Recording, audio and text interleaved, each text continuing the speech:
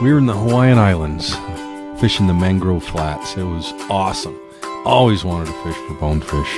It's been on my bucket list forever. And this is probably the, the funnest, most exciting fish I've ever hooked into.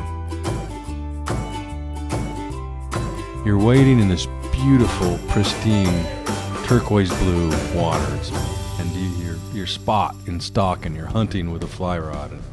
Bonefish are just so strong. They're like these silver bullets that just cut through the water. They have this beautiful silver white underside and then uh, green, almost a bluish green. It matches the water really. Um, they're just beautiful fish, and the sand is kind of a, a goldish, and, and you just you're walking through and the reflections in the water.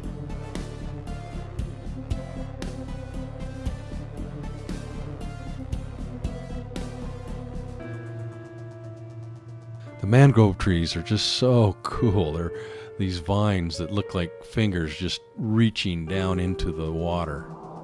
They grow everywhere in that in the salt water.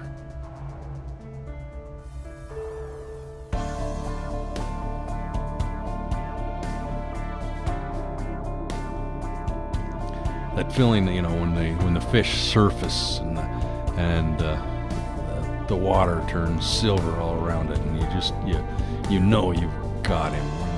You know that is quite the moment. That's the moment I want to capture. Is that moment of success when yeah, I've nailed it. I've I've done what I've set out to do.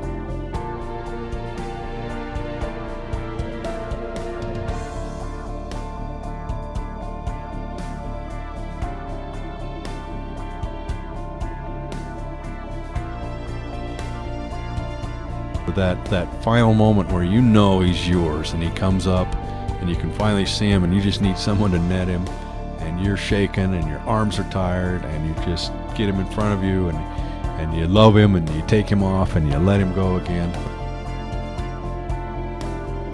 Uh, I just will never forget that moment. That's, that's the feeling I'd like to get.